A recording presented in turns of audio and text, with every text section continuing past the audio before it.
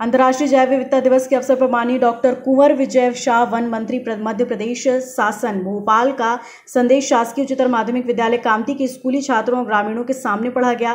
पृथ्वी की पारिस्थितिक तंत्र के घटक जल, वन, भूमि और वायु मानव जीवन की बुनियादी जरूरतें हैं।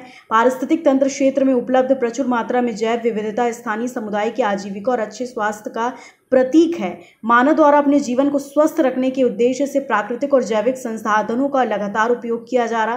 पारिस्थितिक तंत्र के सभी घटकों के संतुलन को बनाए रखने के लिए स्थानीय वनस्पतियों और जीवों की प्रजातियों का संरक्षण और संवर्धन आवश्यक है। इस संबंध में स्कूली छात्रों और ग्रामीणों को विस्तार से जानकारी दी। साथ ही भारत के प्रधानमंत्री मोदी द्वारा दिए गए वैश्विक संदेश मिशन लाइफ के संबंध में अंतर्राष्ट्रीय जैव विविधता दिवस की थीम की जानकारी दी। पर्यावरण संरक्षण की शपथ के बाद पैदल रैली निकाली। साथ ही स्कूल परिसर और गाँव की सड़कों पर गड्ढों से सिंगल यूज़ प्लास्टिक एकत्र कर ज़मीन में नष्ट कर दिया गया। वन परिक्षेत्र अधिकारी बगदा बफर विजय कुमार बारस्कर, नरेंद्र सिंह पारे वन रक्षक राजकुमार कुमरे वन रक्षक रामकिशोर राय वन रक्षक नारायण पटेल वन रक्षक श्रीमती रामवती साहू वन रक्षक विद्यालय प्राचार्य श्रीमती लक्ष्मी काकोदिया, शिक्षिका श्रीमती मनोरमा, प्रजापति अध्यापक श्री व हरिराम कहार, वन संरक्षण समिति के अध्यक्ष बिसिल्ल धुर्वे, अन्य गणमान्य व्यक्तियों की गरिमामय उपस्थिति में कार्यक्रम का आयोजन किया गया।